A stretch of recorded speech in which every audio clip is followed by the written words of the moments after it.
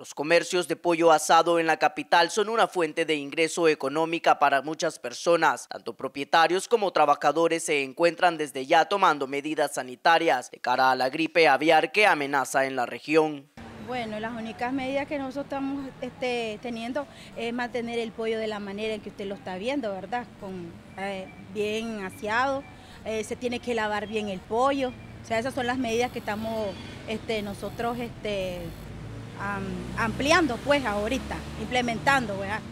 Ellos andaban buscando una persona viable porque tienen dos, tres distribuidores y ellos me imagino que los distribuidores andan viendo también cómo no afectar a nuestra clientela porque de esto dependemos.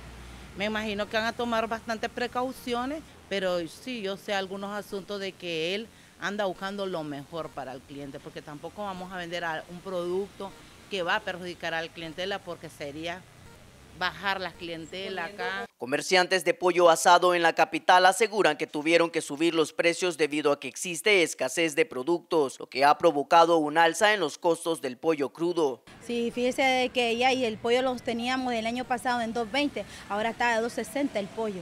O sea, 40 córdobas más le hemos subido.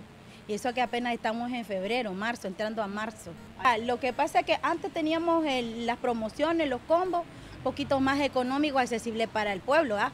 para el que viene a consumirlo, pero ahora lo tenemos que subir un poquito más y todavía pues a ver si también está al bolsillo del trabajador o del que va a venir a comprar también, del cliente, porque no hay, accesibilidad no hay. Hace una semana pues subió el pollo de 47, 48 que estaba la libra, se incrementó a 50 córdobas. Fuimos obligados a hacer el incremento de 10 córdobas. Lo teníamos a 110, tuvimos que incrementar a un precio de 120 córdobas. Hoy compramos pollo, pero hay una ligera escasez ya en el país de pollo. Eh, está entrando, pero entra de un peso que se tiene que dar a un precio más caro y nosotros también tenemos que pensar en, la, en las otras familias, tiene que ser accesible. Sí, ha subido, eh, ¿cómo le podría decir?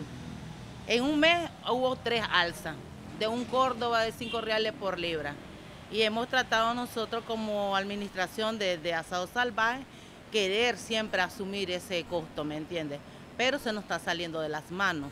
Ahorita yo le sugería yo a mi hija, que es la dueña, que hiciéramos un nuevo inventario, porque no solo sube el pollo, sube el carbón, la bolsa, el plato, todo en Nicaragua aún no se han reportado casos de gripe aviar, sin embargo estos comerciantes aseguran que si la población deja de consumir pollo por temor a enfermar, ellos estarían innovando en sus platillos. Nuestro negocio es el pollo, más que todo es la defensa de nuestro el pollo.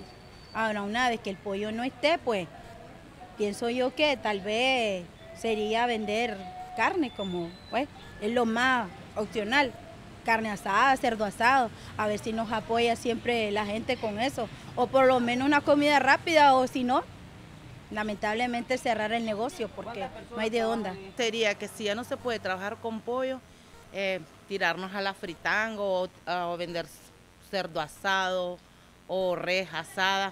La cosa que el nicaragüense siempre buscamos la manera cómo subsistir. Bueno, si en caso llegaría a entrar acá la gripe, eh, nos tenemos que innovar y hacer otro tipo de negocio. Pues se puede hacer fritanga, comida rápida, todo es innovar. Por su parte, el gobierno de Nicaragua ha venido tomando medidas de prevención, como la restricción de importaciones avícolas desde Costa Rica, país vecino que ya ha reportado casos de gripe aviar en su territorio. Asimismo, el Estado nicaragüense, a través del doctor Wilmer Juárez, delegado de Nicaragua ante la OMSA, informó que el Instituto de Protección y Sanidad IPSA realizará un simulacro nacional de influencia aviar que tendrá lugar en la ciudad de Granada del 13 al 17 de marzo de este año cámara de José Castellón para el noticiero Telenorte les informó Alejandro Cruz Barrios.